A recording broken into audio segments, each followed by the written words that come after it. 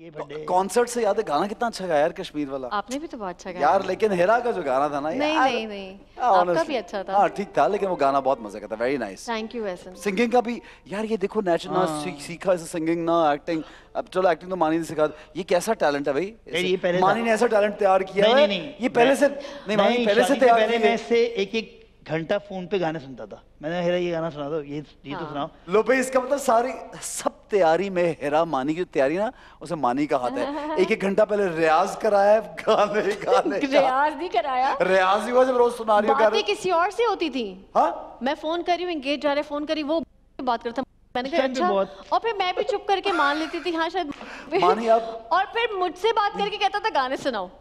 और मैं गाने सुनाती नहीं आप गाने ऑन करते हो स्पीकर पे उधर वो तो मैं- गाती रहती थी मैं। अच्छा ये हेरा ये अब फ़ोन बिज़ी होता है एक अब फ़ोन बिज़ी नहीं अब कहाँ बिज़ी होता है? अब कुछ बिज़ी नहीं है भाई। अब तो सब वायरल हो जाता है। अब क्या बिज़ी है? अब है। ना सबका वायरल हो जाता है। तो इसलिए बहुत इनिंग जो है ना बहुत वाली इनिंग खेल रहे हैं। अब हानिया जिसके पास सारे रिकॉर्ड्स होते हैं। अब ये वाली इनिंग चल रही है भाई। ये हाँ।